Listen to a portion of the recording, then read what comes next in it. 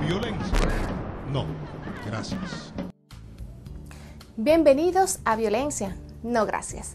Les cuento que hoy tenemos un propósito muy bueno, ya que contamos con la firme intención de erradicar la violencia que sufren algunas personas con problemas mentales, por lo que nuestro objetivo fundamental será sensibilizar y concienciar para que el maltrato a los enfermos mentales se reduzca en su mínima expresión. Soy Yulisa Díaz y les invito a que nos acompañen.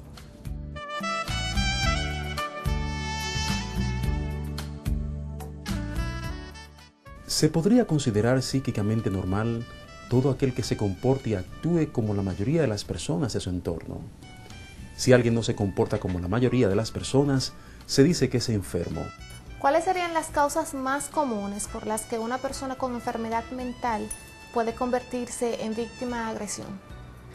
La mayoría de los enfermos mentales que deambulan por las calles de Santo Domingo y de otras grandes ciudades tienen la gran proporción de que son víctimas de maltratos por los transeúntes.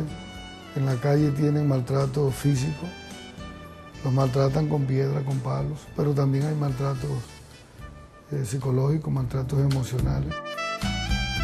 Los enfermos mentales también tienen que enfrentarse diariamente a la discriminación en la educación, el empleo y la vivienda. En algunos países incluso se les prohíbe que voten, se casen o tengan hijos.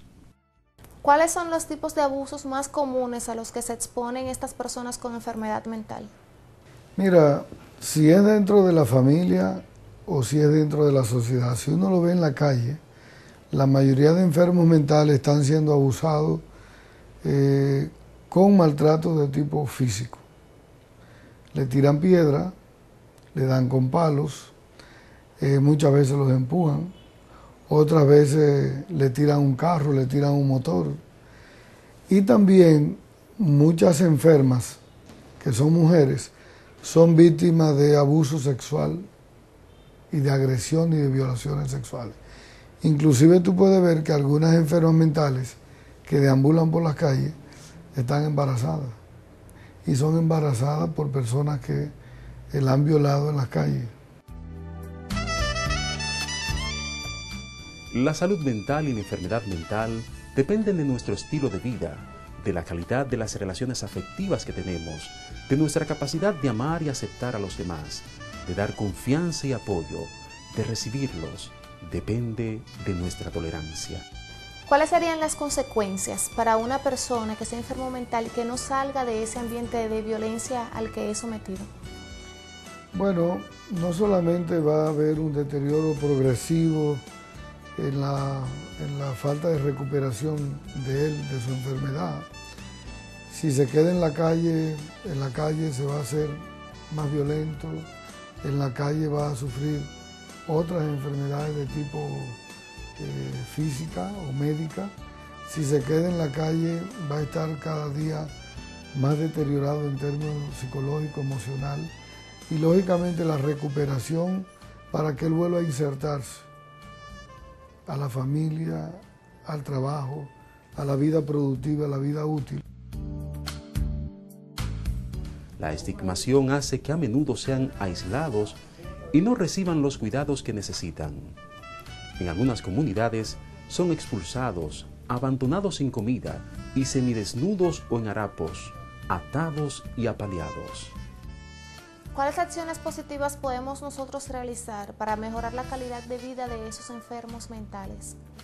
Hace unos años, eh, la Organización Panamericana de la Salud, la OPS, hablaba de políticas de inclusión con los enfermos mentales que deambulan por la calle.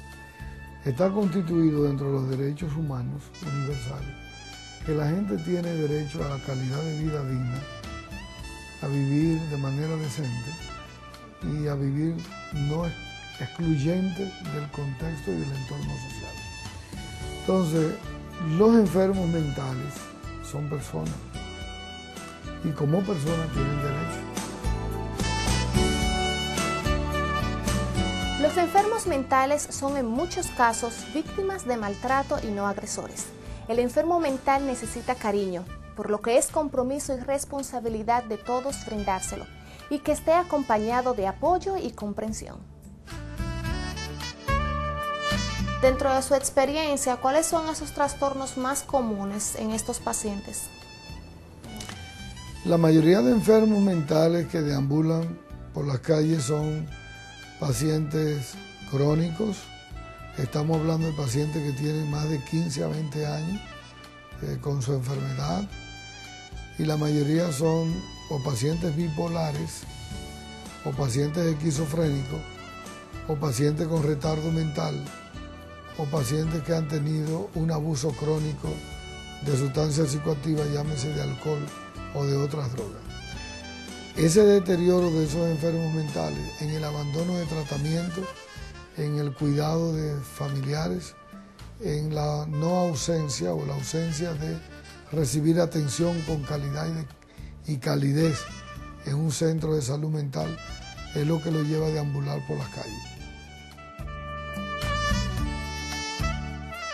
Las personas que tienen una enfermedad mental tienen afectado su entorno afectivo, su conducta y la manera en que se comunica con otras personas.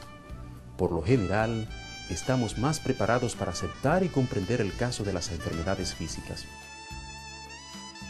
¿Cuáles acciones realiza el Estado? ¿Cuáles programas tiene para mejorar la calidad de vida de estas personas con enfermedad mental? Sí, hay programas. Hay un programa del Ministerio de Salud Pública, de la Dirección Nacional de Salud Mental, que dirige el doctor José Michel, y ellos tienen unos programas de rehabilitación psicosocial con pacientes que deambulan por las calles diríamos que el Ministerio de Salud Pública, la Dirección Nacional de Salud Mental, es quien coordina y tiene esos programas. Desde la perspectiva médica, un desorden mental sería aquel comportamiento desadaptado que no llega a ningún resultado concreto, que se aparta de la realidad. Desde el punto de vista social, un enfermo mental no se ajustaría a su entorno no abandonen sus enfermos mentales, apóyenlo, que las familias entiendan que el enfermo mental no eligió ser un enfermo, ¿verdad? Que es una enfermedad igual que la hipertensión o la diabetes, que si usted no toma medicamentos, si usted no hace dieta, si usted no lo cuida, usted se va a deteriorar. Eso pasa igual con la salud mental.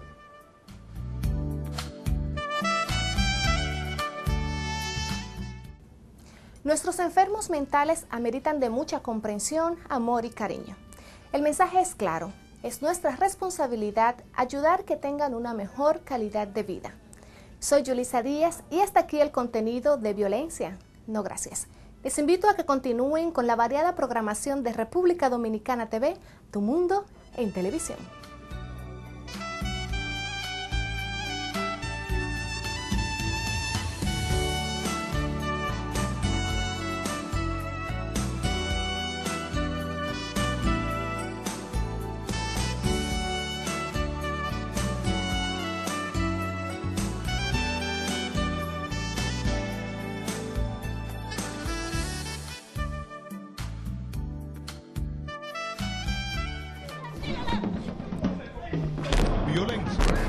No, gracias.